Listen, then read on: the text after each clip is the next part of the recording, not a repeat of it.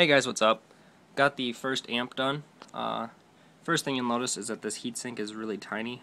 Um, it's probably only good for, I'd say maybe, well, it's good for 10 watts dissipation at a 50 degree rise, which so far is holding about true. I've been playing music, I played music for about 20 minutes, um, just kind of listening to it, seeing how it, seeing how it sounded and everything, and it rose to about 50 degrees.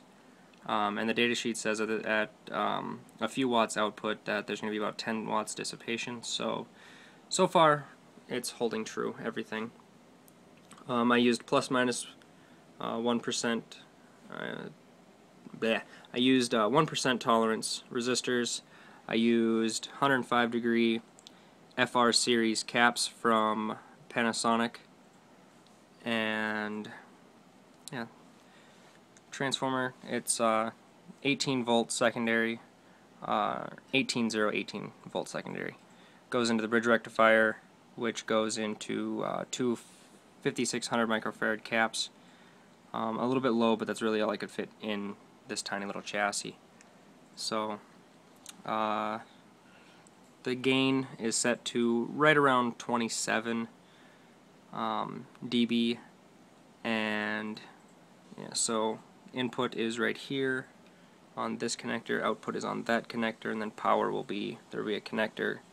Um, I bought the wrong style, the uh, I bought this kind, um, and I must have forgot to select the pin spacing because these are about 4.5 millimeter spacing instead of the 5.08 that I wanted. So they don't fit on the board. So they'll go in line instead of on the board. But let's enough of me rambling on. Let's listen to a little bit of music.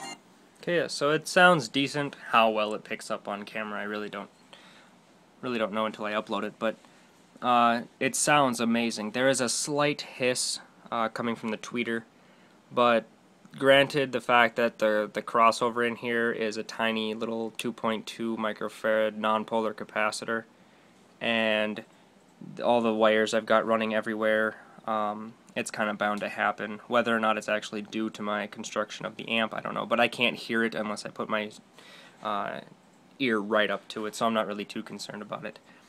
Uh, but yeah, so once I get the other amp built and the preamp and power supply built right there, I will upload another video on that.